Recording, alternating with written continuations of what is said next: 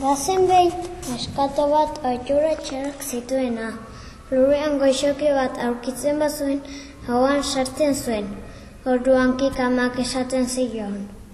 Ez egin hori marizikin pinpin, ondoren mukia jaten zituen, eta bere aitak kikok esaten zion. Ez egin hori marizikin pinpin. Bazuetan zizareak karakolak eta bareak bitzen zituen, jolasteko, orduan pika izpak esaten zion. Ez egin hori marizekin, pin-pin, egunero bere txakurari usak ematen zizkion. Bere amona pika-pikak esaten zion. Ez egin hori marizekin, pin-pin, marizekinek katu ikusten bazuen pixa egiten, perak ere pixa egiten zuen.